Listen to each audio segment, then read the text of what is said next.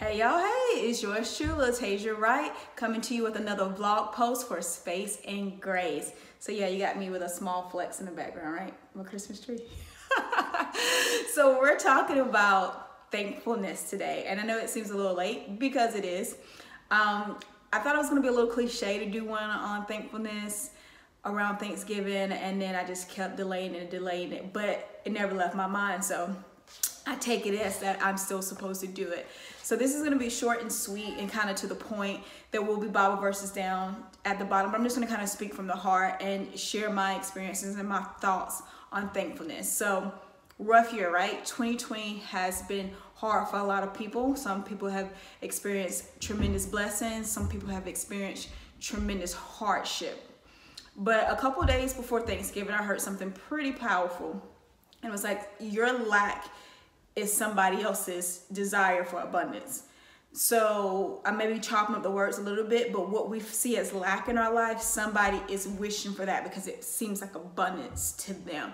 And I think that's the whole basis and center of gratitude, right? And we get that, we get that. Sometimes what we take for granted, someone is wishing and praying for. So it kind of keeps things in perspective. So I think on a very basic level, we all understand gratitude. But even myself, I struggled a little bit because I was thinking like, I almost feel like the imposter syndrome to come on here and talk about being grateful. Of course, every day I think about the things that I'm grateful for and I'm blessed, but I still have those moments of like, God, why is this so hard? Why has this happened to me? Why can't I be one of those people that are seeming to be getting super blessed during this pandemic because that is not me. But I also have those very real moments where I've saw people lose their spouse, people lose their sibling, their parent, their cousins on Facebook. And I know that seems really dramatic, but at the same time, we can't take those things for granted. Those are things to be grateful for that you still have family members here, you still have breath in your body, and it humbles you, you know what I mean? And if we're following God and believers in Jesus Christ, we trust Him, right? His plans is to prosper us and not harm us, correct? Um, lean out on our own understanding, trust Him with all our heart, um, and seek first the kingdom of God, and everything will be added to us. And so I think the part we miss, and I myself realized this week, is there's a suffering. You know, we know this we understand this to a certain extent. Maybe I don't all the way understand it all the time, but we know that it says in the Bible that your days will be full of um, your days will be filled with trouble on this land. It's there's talks about a suffering of of of being a believer and a follower of Jesus Christ. I don't think enough people preach about it. I don't think enough people remind you. You know, it's all about the blessing and all things God can do for you, and He does.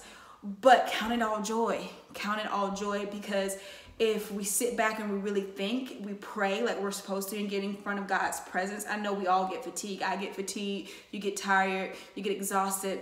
And then you get to this point where if you don't catch yourself, you start to give yourself that pity party you start to get frustrated and those feelings start to overtake you and then you start to look at all the things in the physical but then you have to remind yourself that your battle is really spiritual it is not about the physical things the enemy comes in to kill lie and destroy so he will distract you from the prize. He will distract you from your path. He will distract you from the promises that God told you. And if we don't know how he attacks us, he attacks us so easily and pulls us so deep in that tunnel. So you have to really be aware, right? So what does this have to do with gratitude?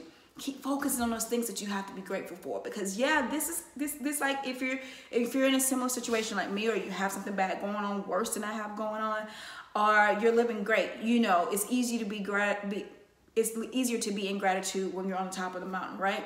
But I'm talking a lot to those people that may not be on the top of the mountain, going through a storm.